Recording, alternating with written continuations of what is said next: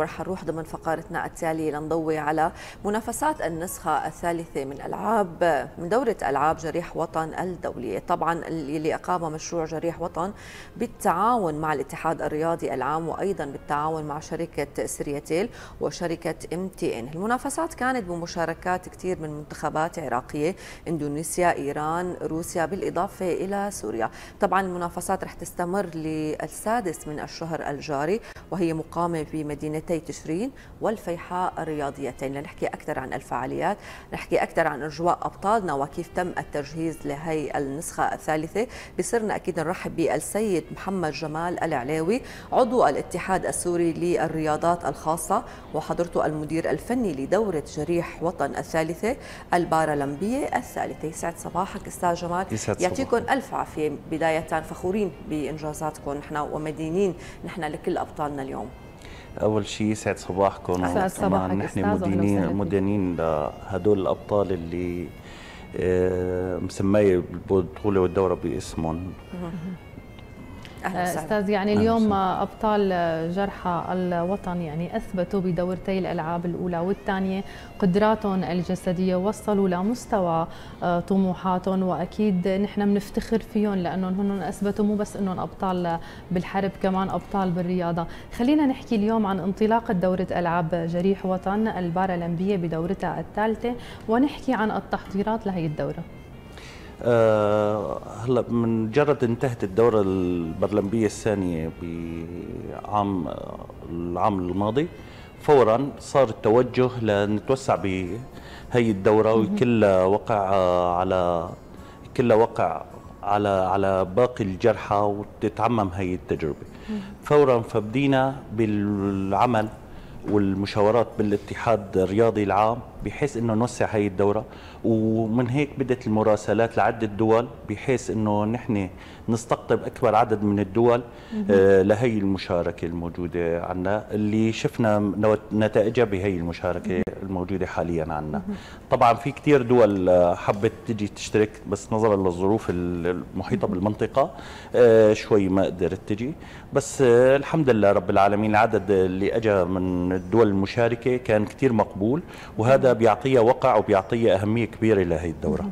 اليوم في عندنا مشاركين آه، يعني تقريبا أو العدد 173 لاعب ضمن النسخة الثالثة.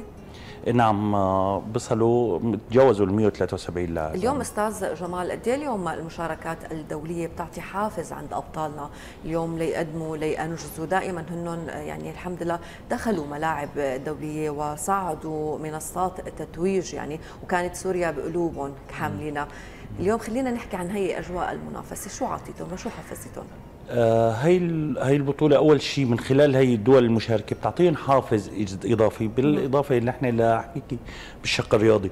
بتلغي عندهم حاجز الرهبة من المشاركات الخارجية. صحيح. آه آه في الفترة الماضية كنا مشاركين بالصين وقبلها كنا بالسعودية وقبلها هيك. فهذا هي المشاركات المشاركة الدولية بتكسر عندهم حاجز الخوف من أي مشاركة خارجية أو تنافسية وبتعطيهم تشجيع أكثر يعني لهيك نحن هي الدورة كان لها دور كثير على باقي الجرحى. وإذا رجعتي أنت للعدد اللي ذكرتيه نحن عندنا بالدورة الأولى كان عدد الجرحى المشارك الرياضيين المشاركين. بالدوره دورة جريح الوطن الأولى اللي كانت باللاذقيه كانوا هن آه، تجاوزوا ال 65 آه، لاعب آه، مشارك.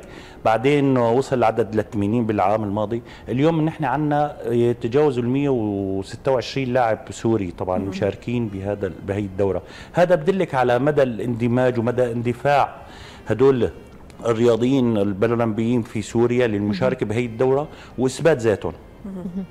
آه تمام. خلينا نحكي أكثر عن أنواع الرياضات الموجودة بالمنافسات الدولية. آه الرياضات هي الموجودة هي كرة السلة على الكراسي بالإضافة لألعاب القوى للسباحة آه القوة البدنية آه القوة البدنية الريشة الطائرة والتنس الطاولة. طيب أستاذ جمال شفنا اليوم أبطالنا من الحرب على سوريا.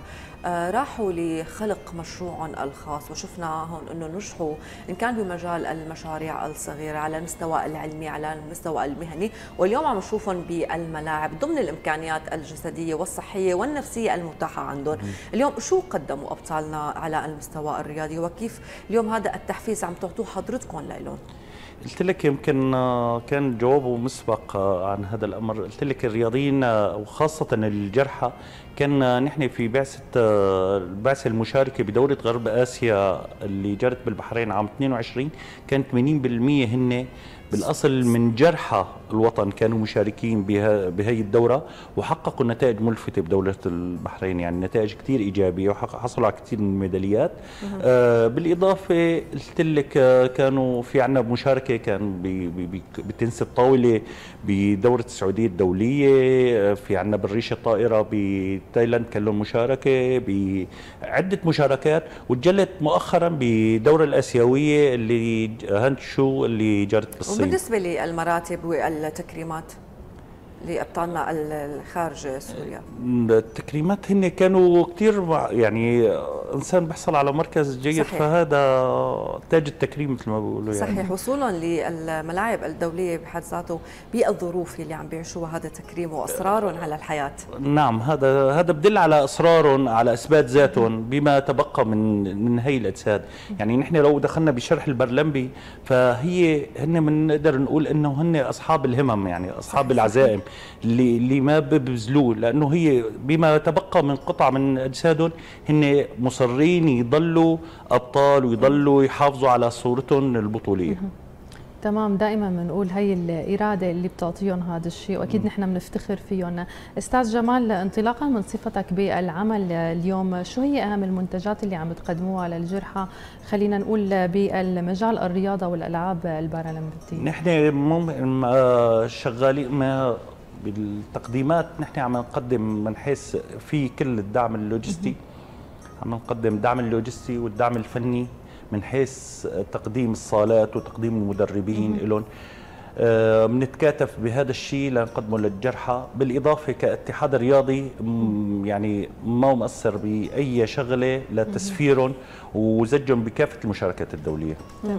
طيب خلينا نروح لبكرة والمستقبل اللي دائما إحنا بنراهن عليه ضمن الظروف مثل ما بنقول دائما المتاحة، نحكي عن خطوط الخطة اللي واضعينها حضرتكم آه، للاعبين والأبطال، هل اليوم في شيء تحضير جديد لهم؟ هلا نحن عندنا بعد شهرين مشاركة كمان بدورة غرب آسيا بالشارقه بالشهر بنهاية الشهر الأول من عام 23 فبدك تشوفي نسبة كبيرة من المنتخب السوري هو بده يكونوا من جرح الوطن مشاركين بهذه الدورة. بالإضافة في في كثير دورات وخطط حاطينها بالبال. هي إن شاء الله بالتوالي بتسمعوا عنها. تمام أستاذ بمجال يعني إنه آه، احتكاككم مع الجرحى اللاعبين شو اليوم أهم التحديات اللي بتواجههم آه يعني هلأ هن في قلت لك في المعوقات اللي هي اللوجستية بتجيهم يعني هي شغلة كراسي شغلة طرف صناعي كذا بس هي إن شاء الله يعني آه يعني عم تسعى الحكومة السورية إن شاء الله لتذليل كافة هي العقوبات وتأمين إن شاء الله تعالى. أستاذ جمال ما بين النسخة الأولى آه مثل ما ذكرنا كنا عم نحكي كان الافتتاح بمدينة الجلاء وكان في مشاركة مشاركة جدا حلوة لأبطالنا وبالمشاركة الثانية كانت النسخة الثانية باللاذقية أيضا آه، النسخة كان الأولى كانت باللاذقية. باللاذقية والنسخة الثانية كانت الافتتاح بمدينة نعم. الجلاء. اليوم بالوصولا للنسخة الثالثة. اليوم في تغييرات طرأت حكيت على آه، أوضاع أبطالنا كان جسديا صحيا ونفسيا. وحضرتكم اليوم كادر مشرف متابع ومراقب عن كثب وعن قرب لهدول الأبطال. اليوم شو هي الفروقات ما بين النسخة الأولى والنسخة الثانية؟ الإيجابية طبعا أكيد. اليوم نحن عم نروح دائما للإيجابية. نعم. لا هي أكيد إيجابية. إذا بتشوفي يعني هذا طرأ على الجرحى. يعني أول بالدورة الأولى كان الجريح هو يتعامل كأنه لساته جريح لسه داخل هذا الجو الغريب عنه. اليوم هو هو جاي لينافس. كان هو كان جاي ليشارك. هلا جاي لينافس جاي ليحقق نتيجة. هذا أهم أهم يعني تطور إيجابي. عندنا الفرق بين الدورة الأولى والدورة يعني إحنا بالدورة الأولى كان قلت لك كان العدد يمكن نصف يصل إلى نصف عدد المشاركين السوريين يصل إلى النصف من هذا العدد. اليوم نحن عندنا العدد يتجاوز ال 126 مشارك نعم. وعلى المستوى الجسدي وعلى المستوى الجسدي قلت لك هذا طبعا آه، بس يصير روح التنافس تزداد فهذا أكيد في تطور على الناحية البدنية والجسدية. وهذا نحن شيء أكيد شيء بنتمناه يعني كجزء بسيط من الشيء اللي قدموه. أكيد نحن مدانين لهم لهدول الجرحى بالما قدموه هي قطاع من أجسادهم آه كرامة ولاعلاء راية الوطن. إن شاء الله. تماما. أستاذ قديش اليوم حضرتك بتشجع يعني كل الأشخاص اللي عندهم خلينا نقول الجرحى أو أي شخص اليوم عنده أي مشكلة جسدية بتشجعه على القيام بأعمال هو بيحبها ليوصل اليوم لطموحه من خلال احتكاكك بهدول الأبطال. لحكيكي أنا والله شغله الأصحاب مثل ما بقولوا نحن بنقول الإعاقة أو القدرات الخاصة هن أصحاب عزيمة. فبالعكس يعني أنا كثير من الأحيان بنزل بعزيمة هيك أنا باخذ منهم العزيمة وأنا هن اللي بشجعوني مو أنا اللي بشجعهم. آه اليوم عندهم قدرات كبيرة بتمنى منهم هن يفرغوا قدراتهم بالطريق الصحيح. باللي بحيث إنه يخلقوا إنجاز إن شاء الله عظيم. وهن عظماء وعندنا كثير إنجازات سابقة بالمجال البارالمبي نحن في سوريا. فبتمنى إن شاء الله تعالى يحققوا يعني أهدافهم وأحلامهم إن شاء الله. طيب أستاذ جمال اليوم هذا الجريح البطل اليوم لحتى يروح للمنافسة ان كان الأولى الثانية الثالثة. اليوم في كادر مشرف مختص عم بيكون آه، مشرف على حالته على اوضاعه خلينا نحكي عن الكادر المختص. اليوم آه، مين هنن؟ أكيد في أطباء في مدربين رياضيين. خبرنا أكثر عنهم. آه، طبعا نحن عم بالشق الرياضي بقدر احكيكي بالشق الرياضي في عنا اليوم نحن خيرة كوادرنا الوطنية. اليوم اللي بتعمل بالمجال البرلمبي هي آه، اليوم هي عم تشتغل معنا على الأرض. يعني آه، بلعبة القوى البدنية بلعبة ألعاب القوى بلعبة آه، تنس الطاولة. كلهم أصحاب اختصاص عالي ولهم باع دولي كبير. فهن جاهزين وهن عم يشتغلوا اليوم على الأرض وموجودين لتقديم كافة إمكانياتهم الفنية لتقديمها لهدول الجرحى. أستاذ بدنا هيك كلمة من حضرتك رسالة بتحب توجهها لهدول الأبطال وأيضا لكل شخص اليوم. أكيد في جرحى آه، لساتهم قاعدين أو ما تشجعوا أو يمكن إصابتهم أثرت لهم على المدى النفسي البعيد. هيك كلمة من حضرتك. والله أنا بحب أوجه لهم كلمة لهم آه، سابقا آه، أنتم أنتم قدمتوا لهي البلد نحن مدينين لكم بقول لهم أنتم ان شاء الله الامل فيكم أنتم ما عليكم إلا تتوجهوا ل ل لرياضتكم أو موهبتكم اللي بتحبوها. ونحن جاهزين لتقديم أي شيء هو طبعا ما بعوضكم عن الشيء اللي قمتوا فيه اتجاه هذا الوطن.